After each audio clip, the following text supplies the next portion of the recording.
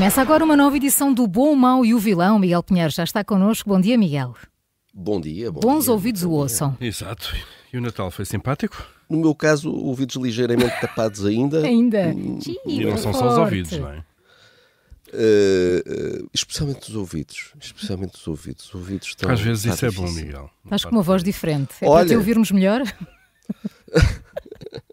Não puxes por mim, Maria João. Vamos então. Vamos lá, o bom então.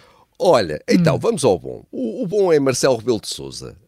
há dias, uh, Lacerda Salles deu, deu uma entrevista ao Expresso, onde falou assim um bocadinho mais sobre o caso das gêmeas.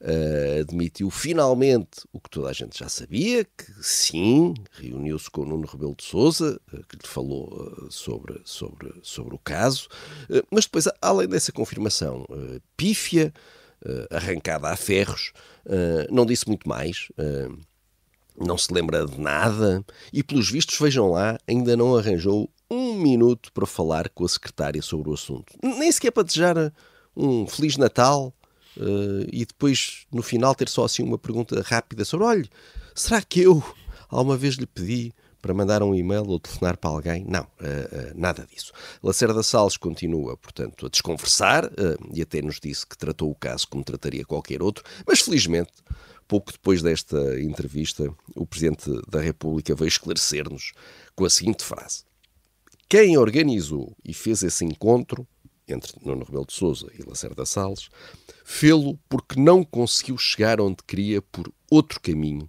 através do Presidente ou da Presidência. Por isso é que a seguir foi tentar outra coisa. E Marcelo Rebelo de Sousa como vemos, não tem dúvida nenhuma de que Nuno Rebelo de Sousa foi falar com Lacerda Salles, mesmo para meter uma cunha, eh, e vá lá, pelo menos há, há uma pessoa em todo este episódio lamentável que, que está a falar de forma clara, ao menos isso. Pois, e lá vão as relações familiares também neste caso, não é? Não se pode ter tudo, de alguma maneira. Imagino que sim, mas realmente quando uma pessoa escolhe ser presidente em vez de ser, sei lá, pedreiro ou, ou- ou operador de caixa de supermercado, sabe que essa escolha tem, tem, tem custos, de facto. Sem dúvida. Marcelo está disposto a pagá-lo. Então e quem é o mau? Olha, o mau é Mariana Mortágua. Eh, A líder do Bloco de Esquerda decidiu mostrar-se muito pia numa mensagem de Natal, onde se conduía com o facto de, vou citá-la, este ano não haver celebrações de Natal na cidade de Belém. Uh, no vídeo do partido, Mariana Mortágua fala sobre a cidade onde a tradição cristã acredita ter nascido Jesus. E fala, só, só faltava mesmo, de facto, estar ali, estar ali completamente uh, ali já em- a rezar. Só, só faltou isso. Falou também no pior Natal de todos os tempos. Eu, eu achei interessante, porque normalmente eh, o Bloco não está nada preocupado com as celebrações eh, da Igreja e quer mesmo estar o mais longe possível delas. Eh, há até aquela frase célebre, dita há anos, num dia de grande nevoeiro em Almada, quando o Cristo Rei estava escondido na bruma. eh, Joana Mortágua escreveu no Twitter isto. Joana, não Mariana. Não sei se isto é politicamente incorreto, mas gosto quando não se vê o Cristo. Eh, e o Bloco é assim. Em Portugal, as celebrações católicas são péssimas e são um sinal de opressão. Lá longe, em alguns sítios, as celebrações católicas são ótimas e são uma arma para atacar Israel eh, e o Ocidente. Sendo que, atenção, se Mariana Mortágua está tão preocupada com as dificuldades dos cristãos em celebrarem o Natal, eu posso lhe dar uma longa lista de locais no mundo onde, eh, onde estas celebrações são oprimidas e onde, e onde o cristianismo é perseguido. Eu posso dar-lhe essas, essas, essas indicações e depois Mariana Mortágua pode, se calhar, não sei, ju- juntar-se ao Cardeal Patriarca para falar sobre, sobre esse assunto, já que, já que está tão pia, vamos a isso.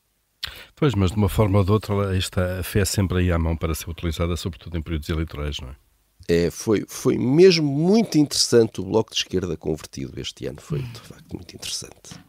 Portanto, o mau é Mariana Mortágua. E quem é o vilão, Miguel?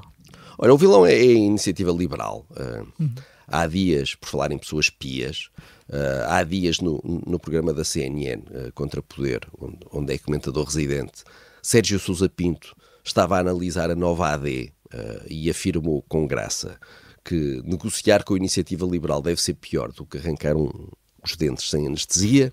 Ah, e, Uma boa imagem. Não, e aí, realmente as melhores piadas são aquelas que têm um fundo de verdade. Uh, e Sérgio Sousa Pinto pertence ao PS, como toda a gente sabe, uh, mas até se distingue por elogiar várias vezes a IEL, e, e, uh, aliás, nesse mesmo programa disse que Carlos Guimarães Pinto era um dos melhores deputados atuais. além disso, Sérgio Sousa Pinto é um socialista com cabeça própria, que sempre criticou as lideranças do seu próprio partido e que nunca uh, se calou uh, por cargos. Não sei se a Iniciativa Liberal tem noção disto. Nos partidos, as pessoas criticam as lideranças e depois continuam deputados. Acontece. Sérgio Sousa Pinto criticou muito estas lideranças e continuou no lugar de, de, de, deputado. Mas mesmo assim, mesmo sendo Sérgio, Sérgio Sousa Pinto uma pessoa com estas características, a Iniciativa Liberal achou que a melhor coisa que tinha a fazer neste Natal era na sequência do programa, uh, publicar dois tweets, não um, mas dois tweets, onde trata Sérgio Sousa Pinto como se ele fosse o exemplo máximo do PS agarrado ao poder. E realmente esta, esta iniciativa liberal está numa deriva de autossuficiência e autoconvencimento que pode acabar muito mal, uh, porque uh, esta iniciativa liberal acha que é muito pura e que os outros são todos muito sujos e, portanto, olha, passou, passou o Natal género Grinch à procura de um, de um tweetzinho para, para, para ir chatear o Sérgio Sousa Pinto porque ele teve a audácia de, os, de fazer uma graça crítica num programa de televisão. Não, não vamos deixar isto passar em, em claro. Vamos arranjar aqui dois tweets para mostrar que nós somos muito puros. Oh, pessoal, por amor de Deus. Pois, ou isso ou ir ao dentista, não é? Uh, sim, uh, sim, ou, ou isso, ou ir ao dentista. O bom desta terça-feira é o Presidente da República, o mau é Mariana Mortágua e o vilão de hoje é a Iniciativa Liberal.